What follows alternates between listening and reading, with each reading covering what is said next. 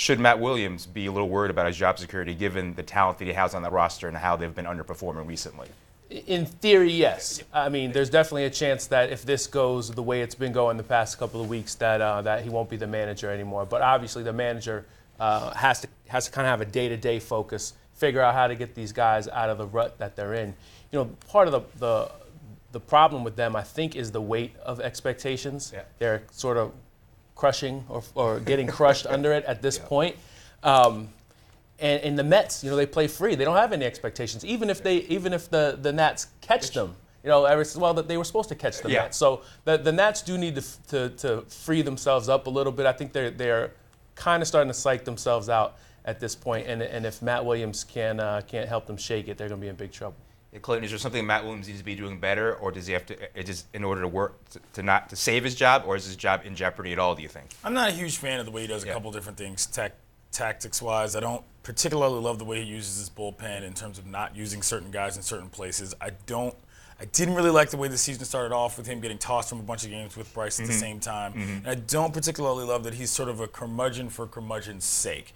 Um, I think, that, I mean, that's, that's, I guess that's more as a fan than as somebody that's sort of trying to analyze the team. Mm-hmm. But I do think it has an effect on how people view whether or not he should be the leader of this team. And yeah, you should worry about it. I mean, they're not doing very well. I don't think it's. I'm not a big fire somebody guy yeah. because you don't necessarily have anybody in the wings. But all you have to do is look at the results to understand that this might not be the person to lead this team. You were talked about the expectations, Neil.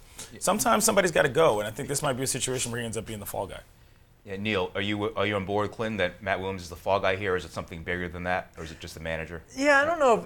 If, and Clinton and I actually talked about this yesterday at yeah. lunch. I mean, I, I don't know if, if the manager is the problem. You look at the injuries on this team.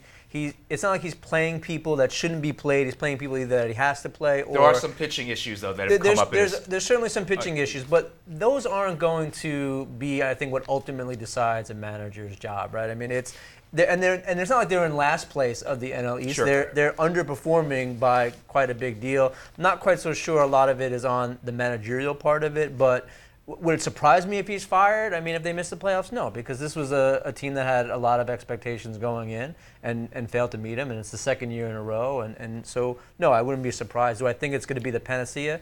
No, this team has a lot of problems, and it could actually get worse next year based on what the pitching staff might look like and what the roster might look like. You know, Williams probably gets judged on the way these last 55 games go because now he has most of the roster back. Mm-hmm. You know, there, there are certain things he can't account for. He couldn't account for Doug Fister pitching so poorly he ends up in the bullpen. Yeah. Um, you know, they've moved Drew, Drew Storen, they moved Tanner. They got him. They, they got him Papelbon. They got it. Right. I mean, they right. He's got he's got guys and and if they don't make a run here, then you know you, you say, well, maybe you fire the manager. To Williams' credit, though, it's been his team that's been hyping themselves up as that good. He hasn't been a guy sure. that's been out there saying that we're the best team in baseball. That's been Werth, that's right. been Harper, that's been other guys. right.